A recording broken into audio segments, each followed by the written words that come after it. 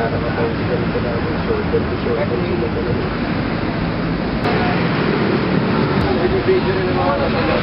Kami, they want you to Parang eight. Ito ang check yun, mga kapalitan. Pero pag na-receive ko na yun, ako si Prince Marie Alsuelo, ah, membro ng Digital Employees Union. Nasa labing taon doon taon na ako dito sa aking trabaho. Meron na kami siyam na taon na nakikipaglaban dito sa usapin namin sa CBA. At sa siyam na taon na ito, meron kaming labing dalawang kasong naipanalo.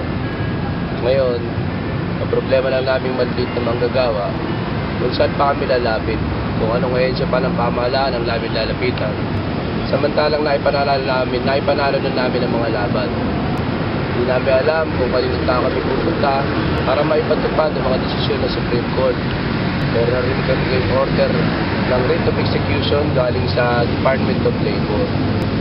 Kaya ang inihiling lang namin sana na maipatupad na ang optional protocol ng PSE nang sa gayon naman matulungan ng lahat ng mamayan lalong lalo na maliliit na manggagawa na Pilipino.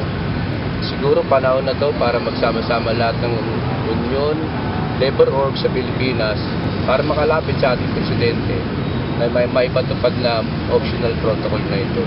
Pinoy, tulungan mo ang unang gagawa! Aprobado na ang optional protocol ng ESC Rights!